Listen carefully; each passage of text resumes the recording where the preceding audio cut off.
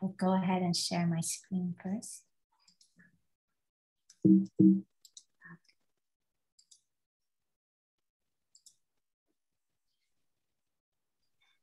All right, this is working.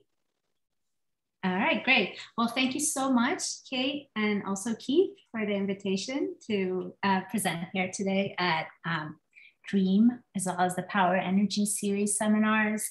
Um, it, it, is, it is a great pleasure uh, for me to talk to you today about some of the work that we've been doing uh, recently on uh, designing learning algorithms for pricing demand in safety critical infrastructure systems. And um, as you just pointed out, most of the work that I do is motivated by this exciting transformation that we're seeing in our power systems with the introduction of grid scale and distributed renewable energy resources, particularly at the distribution system level, transportation electrification, introduction of storage devices, as well as increased customer engagement in how we balance demand and supply in our power systems. Um, so that last point is basically what motivates this talk. Um, the idea that we can manage electricity demand more actively in order to balance supply and demand came because we started seeing the integration of automation systems, including Internet of Things, smart appliances, home energy management systems, and so on in people's homes. And so the idea is there could be an electricity retailer or an aggregator, aggregator that can sort of um, characterize how flexible a population of uh, electricity customers are in their electricity demand and sort, sort of tap into that flexibility in order to better balance supply and demand in the, in the, in the power grid in real time. The challenge is that demand is a complex subject for, uh, object for which we do not have good characterizations. And the infrastructure system serving this demand is safety critical, meaning it has all these reliability requirements that cannot be violated. And so very, very, very broadly, since this is not a power and energy series seminar necessarily, I want to tell you sort of what are the different forms of demand management that have been proposed over the years. The first category is employing centralized control strategies. So basically customers specify to a to the aggregator how flexible they are in consuming certain appliance, sort of consuming energy through certain appliances in their homes. And then the aggregator kind of takes over control of that appliance. This requires uplink from the customer to the aggregator, meaning communication from the customer to the aggregator to specify exactly what their needs are. It violates the customer's privacy potentially, and also requires proper design of mechanisms to incentivize customers to participate in such programs. Um, then kind of to see perhaps whether we can address some of the downsides of such mechanisms. There's on the other side of the spectrum, distributed network utility maximization type uh, mechanisms that try to get the customers to collaborate with each other uh, to, uh, to together achieve sort of a certain supply um, goal. So you want you want to together consume a certain amount of renewable energy production and you use distributed optimization to achieve this goal. It still requires uplink from the customers uh, to the to the aggregator as well as these agreements to collaborate together to to sort of achieve these goals. And so both of these uh, are rather complex to implement if you think about it. And so um, the other sort of perhaps more uh, easier to implement uh, mechanisms try to basically use simpler solutions that don't require customers to communicate their and characterizations of their demand flexibility to the aggregator. So instead, they want to just estimate or learn how flexible the customers are through repeated interactions.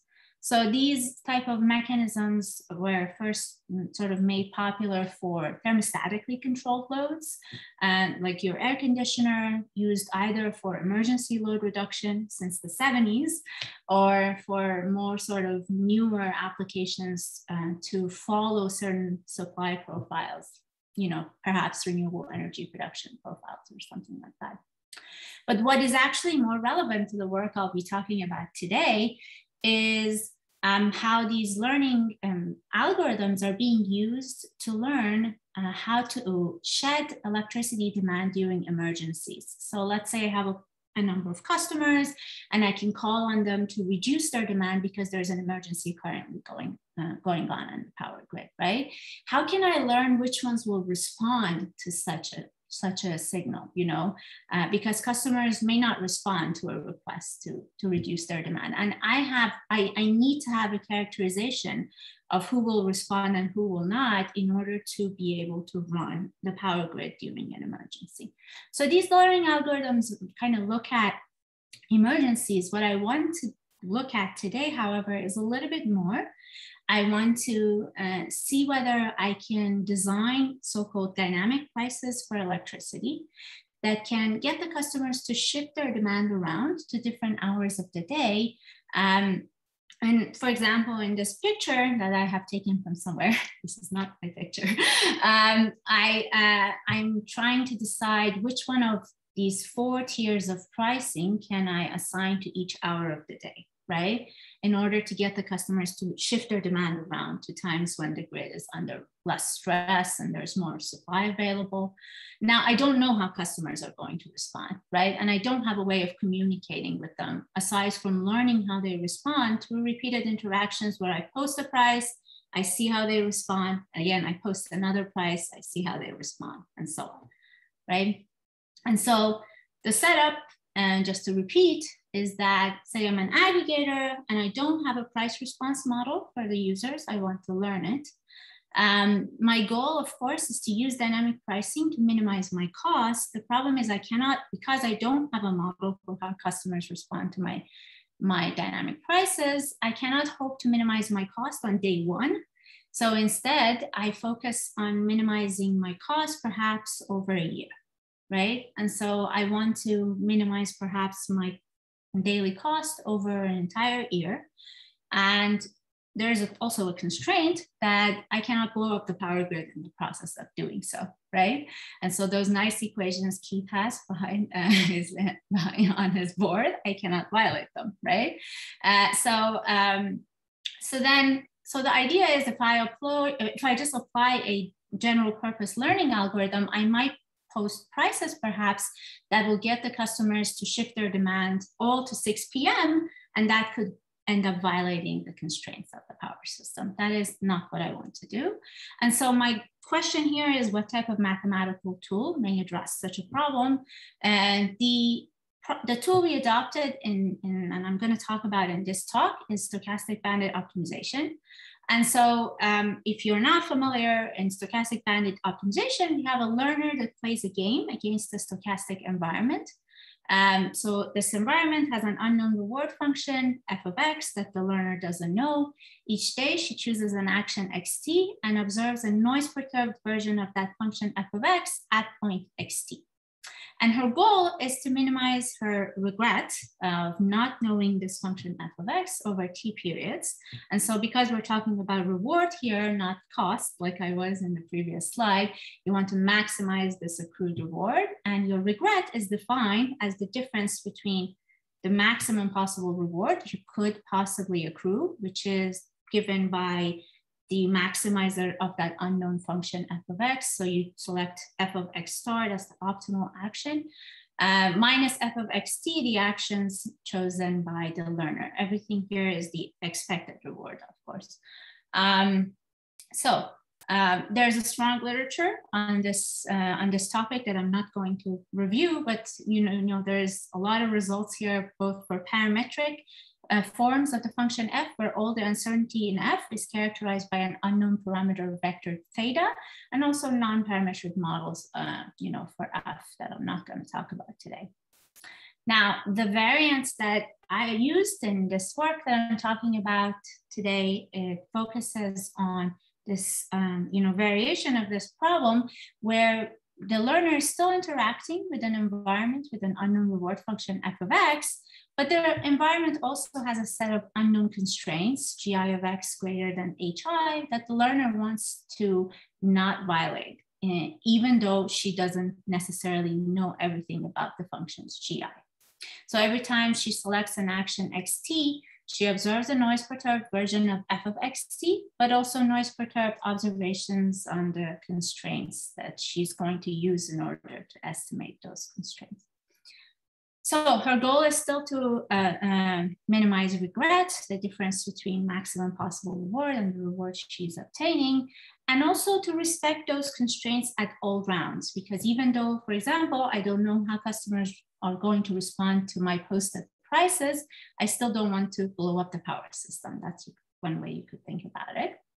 Of course, in this form that I am showing you here, and this is uh, too general of a formulation and it's impossible to do much. So we're gonna have to assume some structure here in order to start showing some results. So uh, are there any questions up to this point before I proceed? Cool.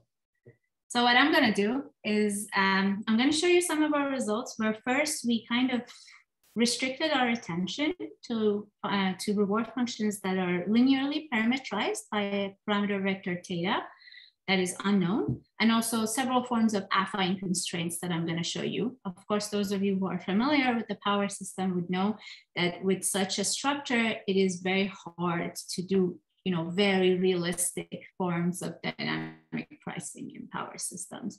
And so I'm going to show you sort of safe algorithms with high probability regret guarantees that we devised for these simpler sort of setups. But then we're going to go back to perhaps what we could have done for the power grid setup. And there you'll see that the results that I have are not as theoretically strong, perhaps, but they are showing you perhaps some insights we get uh, on safety, as well as show some type of algorithms that could practically work well. All right. Uh, so first we're going to look at the first part, which is, as I said, just uh, linear um, payoff structures and affine constraints. So in case you don't know, um, if I have no constraints, the problem that I showed you is the linear stochastic bandit problem. So no constraint, this is the original setup of the linear stochastic bandit problem. Um, I'm gonna assume that my actions uh, lie in a convex compact set in RD and that the payoff structure is uh, the expected payoff of the action X is theta transpose X, well, theta is unknown to the learner. Um, so at each at each time t or at each round t, I play an action xt and observe a noise perturbed version of theta transpose xt. And so the algorithms that I will be building on today all have this next step where of course they're going to use this information that they're getting from all these observations to build estimates on this unknown parameter vector theta. So once you receive all this reward information, you can create a regularized, regularized least square estimate for theta, which are, we're going to call theta hat t, and a bunch of corresponding confidence regions, CT, within which theta lies with high probability. So the guarantee is that the true parameter theta is going to lie in these shrinking confidence regions that I'm showing you here below with high probability at all rounds of the algorithm. Um, so this is sort of the original setup. And now the question is in the original setup, how should the learner choose XTs to guarantee good regret? So I'm going to show you two sort of famous heuristics for this problem. Again, still no constraints.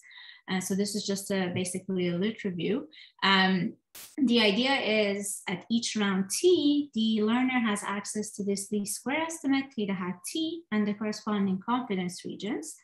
And so how there are one, one very well-known heuristics for this relies on the principle of optimism in the face of uncertainty. So it says at each round, pick the action XT that would have been optimal in the best possible environment that lies in the confidence region. So you see we're solving a bilinear optimization problem where we're choosing essentially the action that's the best possible action in the best possible environment. And this is called the UCB uh, algorithm.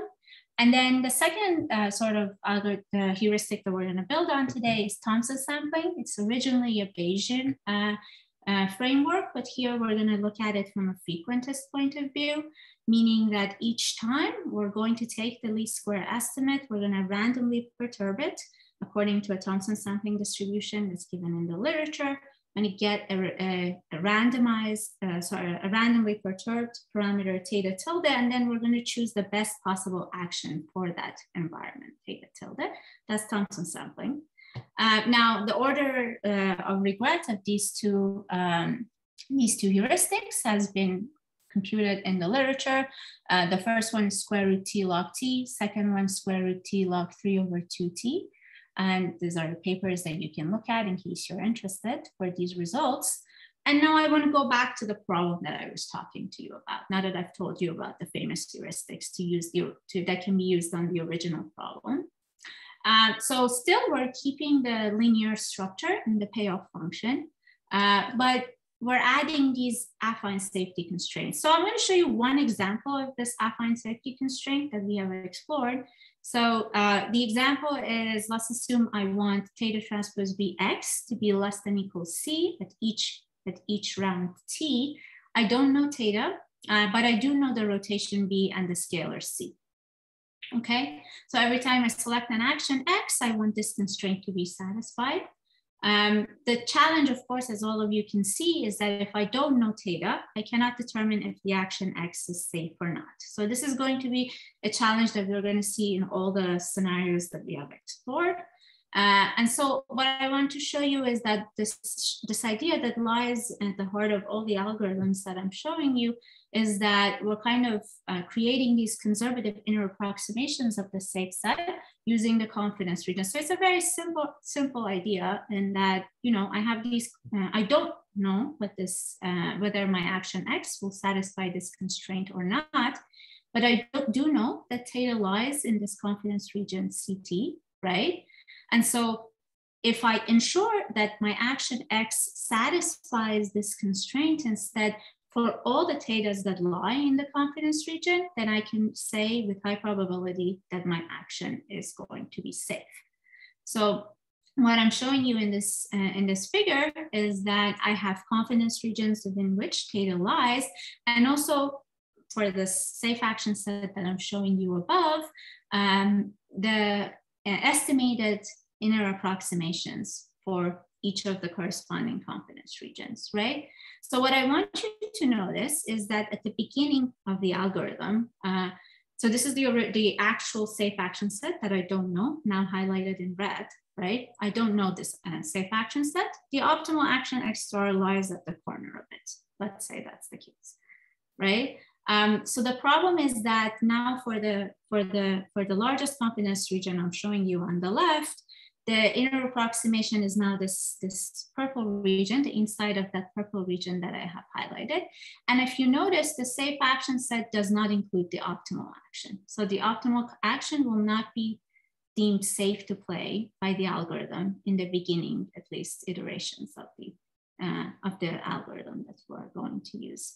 The problem with this is that once the optimal action is not deemed safe, the learner will start incurring this additional regret, which we're going to call the regret of safety. And so that's what we basically want to characterize. Okay, so uh, any questions up to this point?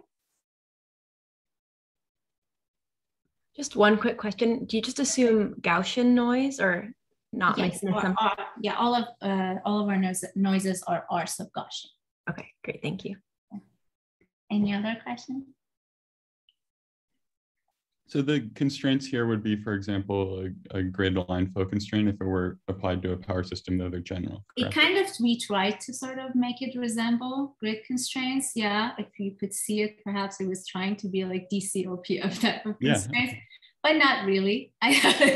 so, so yeah, I mean, you have to really simplify the problem to fit yeah this framework. So my, I don't have a claim that these frameworks are, can really solve a real grid problem.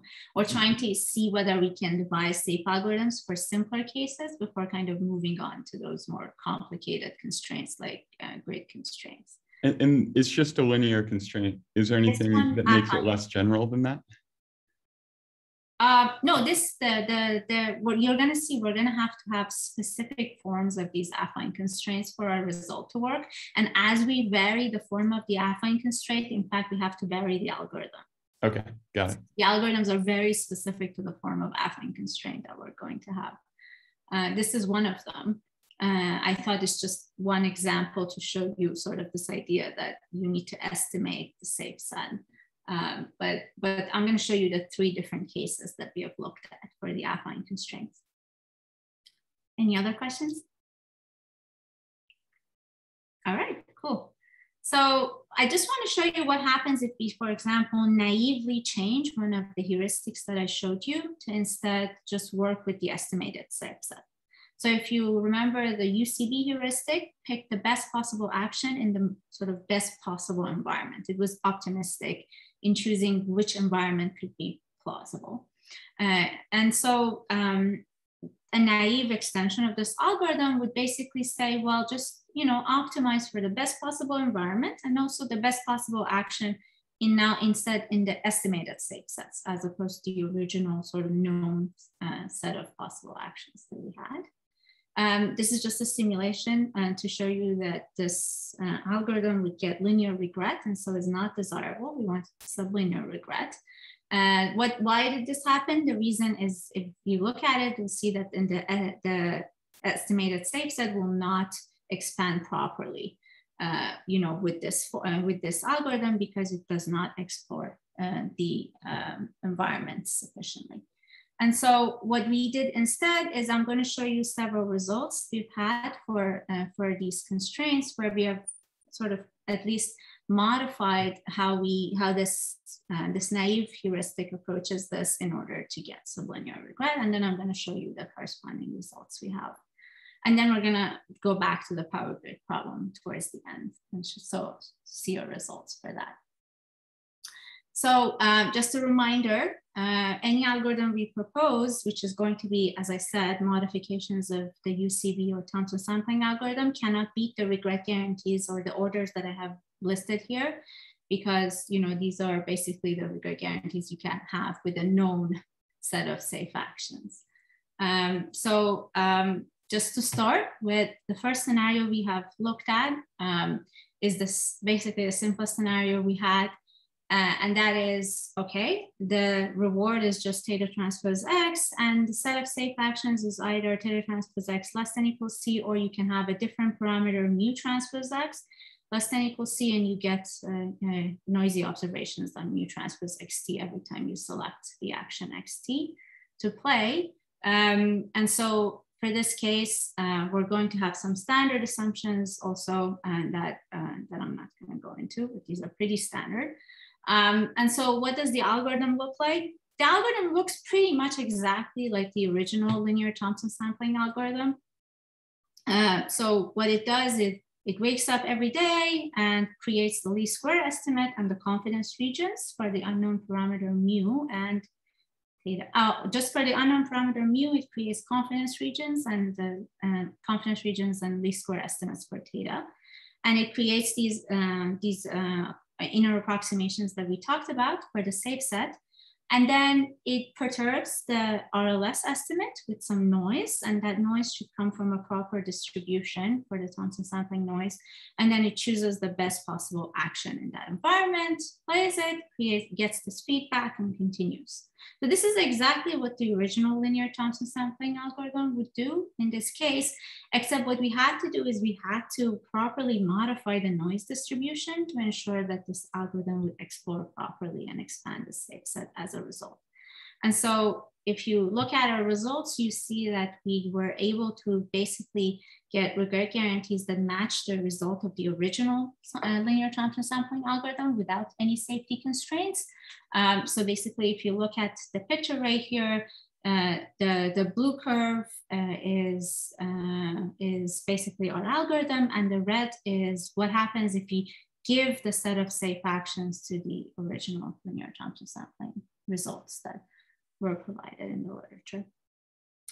Um, so this is the first setup. And the second setup is in fact what I showed you is when we have the safe action set uh, be this, uh, this set of theta transpose Bx less than equals C. Again, a standard set of assumptions on this problem.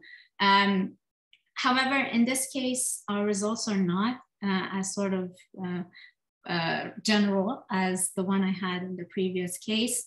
Uh, here we had to define a critical parameter, which we call the safety gap, which is essentially the amount of slack we have in the constraint at the optimal action X star. So the difference between C and theta transpose B X star is called the safety gap.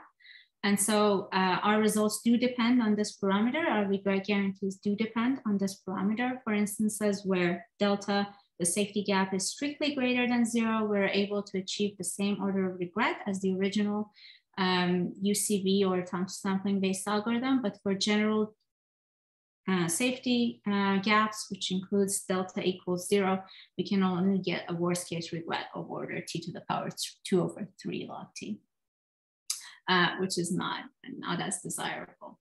Um, all right, and then the last scenario we've explored, and I know I'm going a little bit fast, but I want you to see is that, you know, that form of the affine constraint really sort of matters in the design of the algorithm. It's not sort of as general as one would like. Perhaps if want to extend it to something like the power grid, uh, you know, this could become much more complicated, of course. Uh, the safe action sets that we have uh, uh, looked at in our third scenario are a little bit more uh, sort of contrived, but they're actually motivated by a set of papers that appeared in the literature that, uh, that uh, looked at uh, designing um, policies that can be used by a company perhaps that already has a baseline way of selecting the actions, their actions.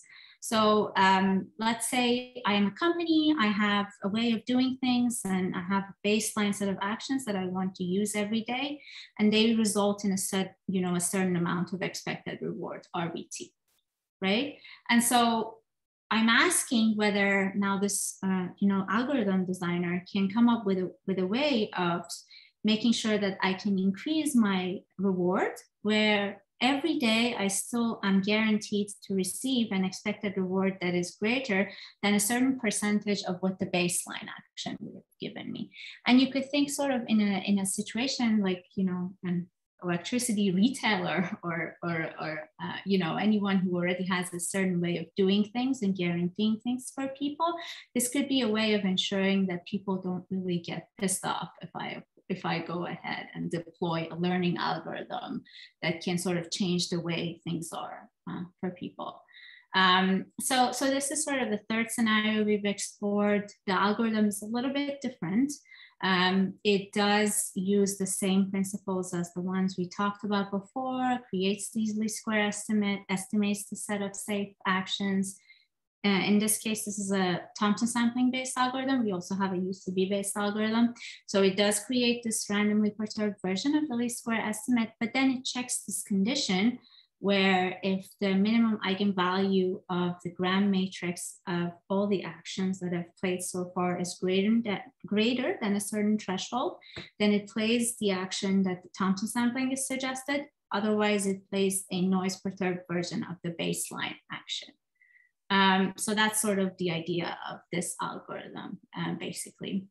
And for in terms of theoretical results, we're able uh, to show regret bounds of order square root t log 3 over 2t for Thompson sampling and square root t log t for UCB. Again, these are the, the best possible cases we could have achieved for, for these two algorithms. Um, and so these are the three sort of theoretical scenarios that I wanted to highlight in order for you to see that we kind of were exploring, uh, you know, solutions that could have nice theoretical guarantees. But when we sort of go back to the power grid problem, the type of results we're showing are still sort of further away from, uh, from you know, nice theoretical guarantees that we could expect perhaps in simpler setups. So I want to show you sort of what the original problem was and how we approached it. Uh, in this is sort of a transaction on smart grid paper that we published in 2020, um, where we looked at this original setup where there's a retailer uh, who wants to minimize their total perhaps annual costs, and they also don't want to blow up the grid and the process while learning about how customers respond to prices, right? Um, so this is sort of the setup that that paper uh, looks at uh, every day. The retailer posts a price uh, that's a vector for different hours of the day. There's one price uh, and observes how customers respond to this price basically after ex post, right? So customers do their thing and through the smart meters, I observe their demand.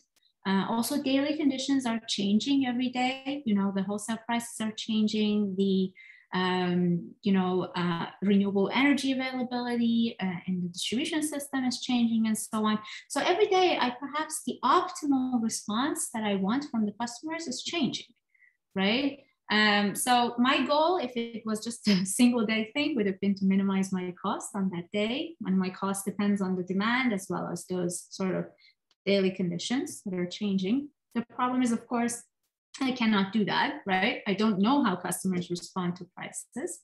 Um, so, and also I don't want those operational constraints of the grid to be violated. So what we did is we used the variant of Thompson sampling for this problem. Uh, and why? Uh, the reason is that Thompson sampling is well known to perform well in, in situations with complex cost functions and sort of especially nonlinear cost functions like what I have here.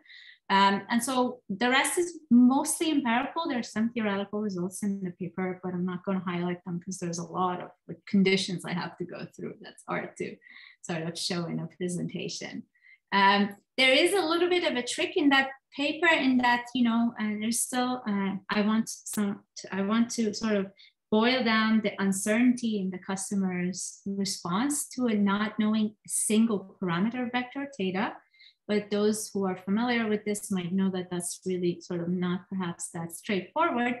We did exploit some sort of degree of knowledge that we have about how, uh, you know, uh, customers uh, mm, sort of optimize energy consumption in their homes. So say if I have a bunch of smart appliances like electric vehicles or dishwashers and whatnot, if I receive a price um, and I have specified perhaps a deadline for charging my electric vehicle or running my uh, dishwasher, then it's very easy for a home energy management system to know when to shift my demand to in order to minimize my electricity bill.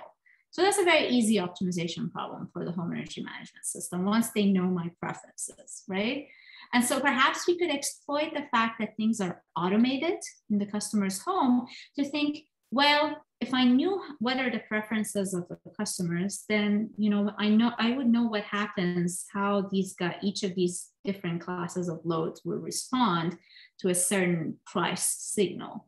The problem is I don't really know how many of these appliances are in customers' home. I don't know how many electric vehicles have to be charged by 8 a.m., how many by 7 a.m., how much charge are they going to want, and whatnot. So what we rely on is this clustering of flexible loads in customers' home into a limited number of clusters. And for each cluster, we're going to assume we know how the appliances in that cluster are going to respond to the prices. And now then the entire thing becomes, can I learn how many of these appliances we have in each of these clusters? That sort of becomes the task. So if I knew how many appliances are in each cluster, I can sort of write down how customer, how all of these people will respond to my posted price PTAP. Problem is I don't know. And so what we do is we want to sort of boil down the learning problem to, to, uh, to learning about how many appliances are in each cluster. Uh, so what we do is um, we were we had a project to run surveys to learn about you know preferences of customers to pricing signals and so on. And we were hoping we could have so much data that we can create these parameterized distributions for uh, for sort of how people prefer to use their appliances that was extremely hard. That was very experimental, and it got it, it, it, there were so many roadblocks that we ended up actually not getting the data we wanted to to actually you know test this model. But uh, you know this is basically the assumption that's in that paper that there is you know there is distributions that parameterize how customers are you know using are going to want to use perhaps their electric vehicle or their dishwasher if prices vary during the day right um, and then in, in after that, we basically deployed a Thompson sampling based uh, heuristic with some uh, linear distribution system power flow constraints, uh, sort of as the safety constraints uh, in this optimization. Um, and so in this setup, uh, as I told you before, formal, formal regret guarantees are limited to special instances when the parameter that we're trying to learn, the parameter theta, is sufficiently separable from all other possible scenarios for all possible scenarios for the parameter under all the prices that we can possibly post. So that you can see sort of is a very sort of, uh, um, it's, it's a strong assumption so we're not claiming that you know the theoretical results we have here are really sort of applicable to all possible scenarios that can happen in the power system. How the algorithm works is that it has a power, uh, a Thompson sampling distribution every day. It samples a parameter theta from that distribution, observes all those daily exogenous parameters that I mentioned, including wholesale prices, renewable energy availability, and so on. And then it's, it, sort of optimizes uh, the cost for the parameter that was drawn, except that the, the constraints now take into account all the other scenarios uh, that theta could also uh, sort of uh, be uh, the all the other scenarios for the true parameter theta, kind of in line with what we were what I was showing to you before. But again, I don't want to go into the details here. Once it posts the price, it observes the demand and then it up updates also, uh, there's a posterior update on the Thompson sampling distribution according to the observation that we have. And then the algorithm kind of proceeds. Um, here are the regret guarantees we have when we tested this on a 30 node radial distribution system. Um, the uh, there is a slight difference between what I, uh, what these algorithms do and what the algorithms I showed you in the first part of the talk to. There is a chance constraint involved in these algorithms for the safety. And so here, this is sort of the, uh, the, the um, probability of safety guarantees is sort of being changed from one mean no safety constraint to uh, 0.01, which is 1% of violation of the safety constraints. And you can see sort of regret increases as you want more and more safety. Um, to uh, more, more and more chances of not violating the power system constraints, basically. Um, what I want to show you is what these safe algorithms do with, you know, and how it's different perhaps with an unconstrained learning algorithm.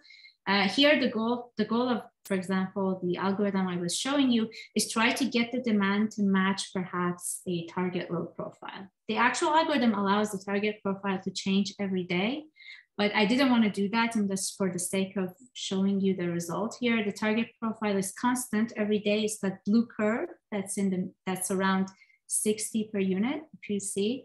Um, we're trying to get the demand to match that blue curve.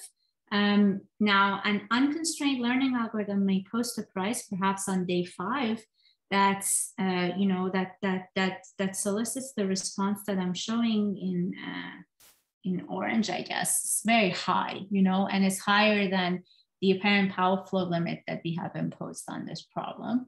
Uh, and so it's going to try to get the demand to approach the target profile from above, whereas the other algorithm that we are proposing kind of tries to get the demand to match the power profile starting from really low numbers. You see sort of posting really high prices in the beginning because it doesn't know how demand is going to respond. So it doesn't want to risk anything and sort of in gradually changing the price to match match the blue profile. Um, so that's sort of the idea of the constraint learning algorithm as opposed to the unconstrained learning algorithm.